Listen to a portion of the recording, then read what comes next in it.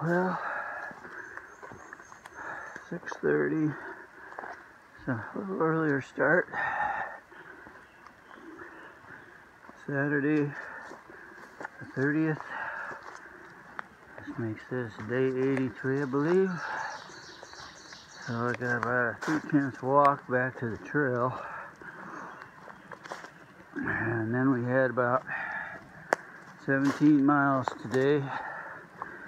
And that'll take me to the shelter, I believe it was called Shelter 501. An interesting name. It's uh, actually supposed to have somebody who uh, lives right near there, takes care of the place. They've got a uh, solar shower.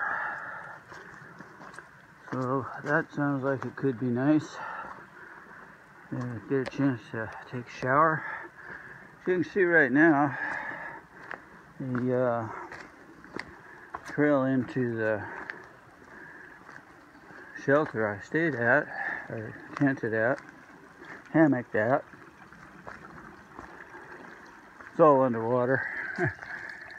yeah, talked to a couple of hikers just out for the week. They came up, or came down from the north and yeah, just informed me that I could be in for quite a surprise down in the trail. I guess it's uh, flooded out pretty good because of these storms. So we'll see. Anyway, with luck, I should be at the shelter somewhat at a decent hour. Stake my claim so I can get in there and shower. And weather's supposed to be about the same as yesterday. I got uh, a couple of hills to climb today. The ups and downs, the little guys are going to be a little bigger today. But we'll manage. That's the name of the shelter I went out to. I'm not sure how it's pronounced. Rosh? Roshish? Roshish? Don't ask me, I can't pronounce. Anyway, we're heading down now. And we're back on the trail. You can see down below people tenting down by the river or the overflowing stream, whatever you want to call it. And I am officially on AT again. And this is a nice trail for now. See how long it lasts.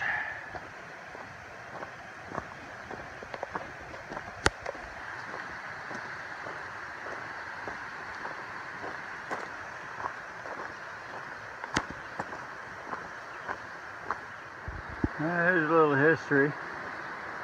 An old village, or whatever that name's called.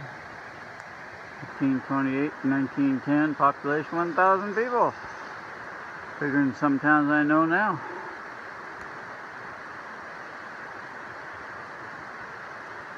Moved in 1872.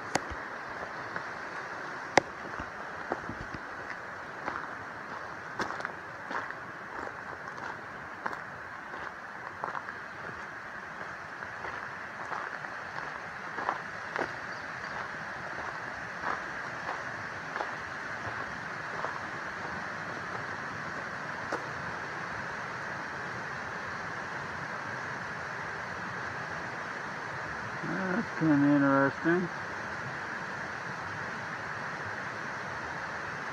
Anyway, read that later when I can pause it.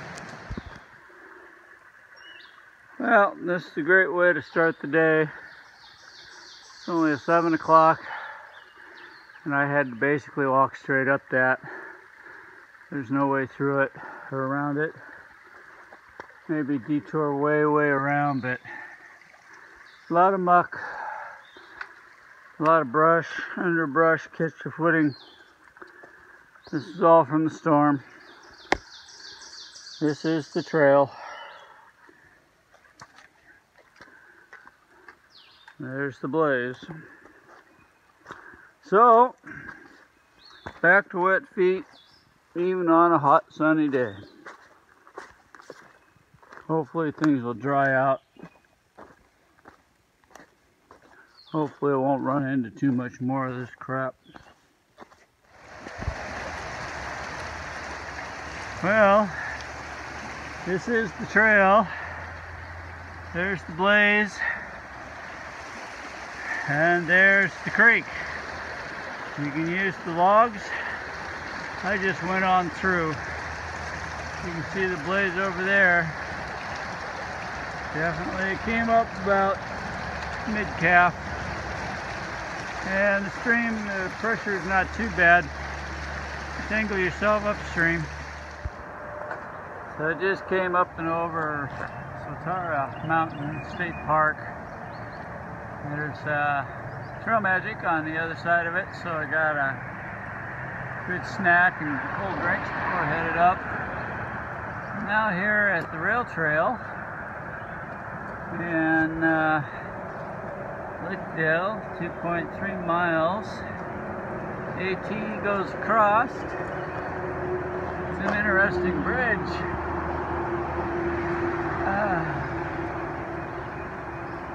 see if I can get focused in on uh, uh, hold on a sec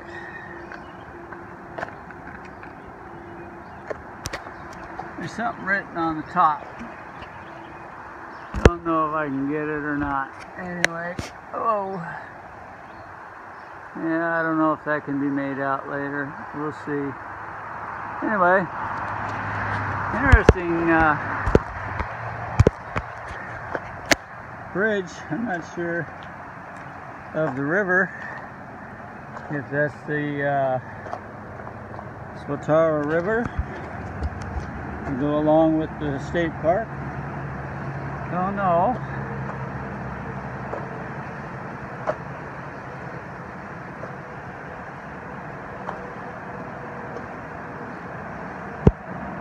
Got a highway on the other side.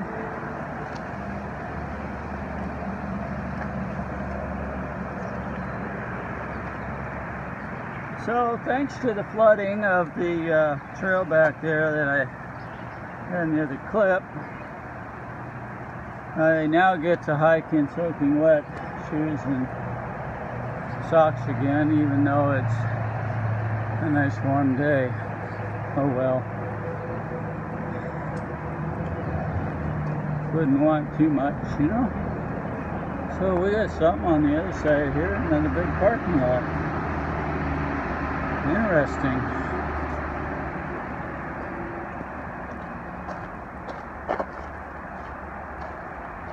And figure out where the trail is.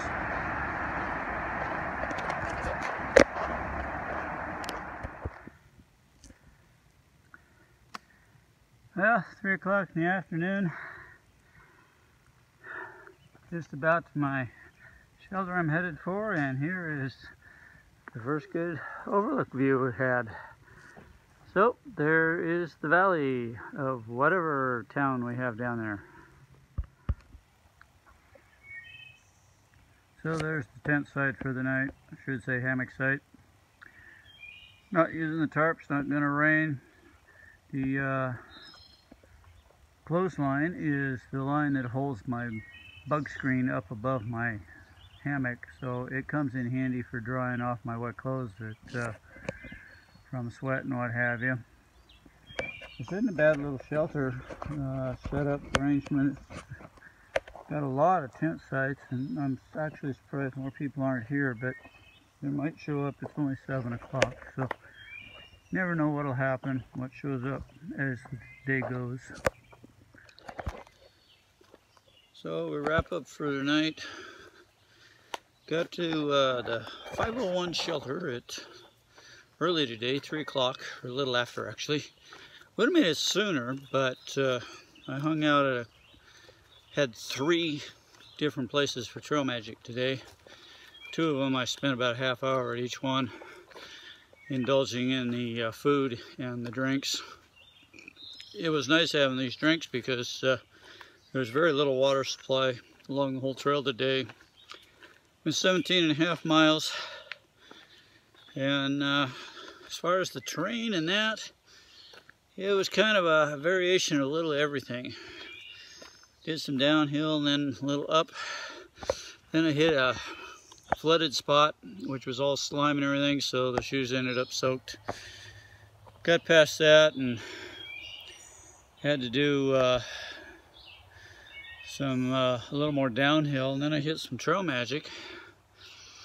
After that, I had to go uphill, downhill, and then ran into another ice chest full of drinks, so I grabbed a couple of Cokes and filled up my water bottle and headed uphill again.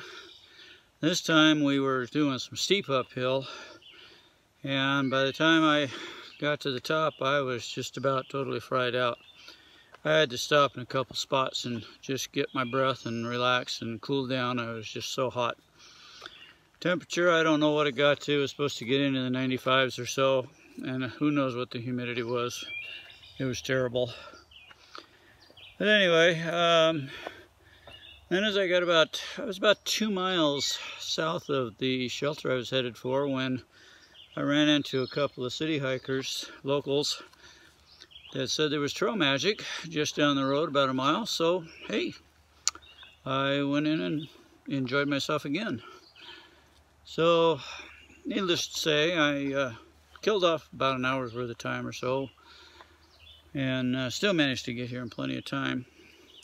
Tomorrow's going to be a big day. I got 21 miles planned. I'm going uh, to Port Clinton. I'll stay at the uh, uh, town pavilion where they have free hiker camping there and see what I can resupply there. If I can't find anything there, just a couple tents down the road, I can uh, hitchhike into uh, uh, Hamburg, Hamburg, whatever it's called. So that's for tomorrow. And uh, anyway, that wraps up everything for tonight. Uh, nothing more exciting. Outside, I had to forge a flooded creek that was up to about mid-calf and things like that, uh, thanks to the storms we've been having, especially the one the other day. So it's really raised hell with the uh, trail and the area and stuff, not just the hikers.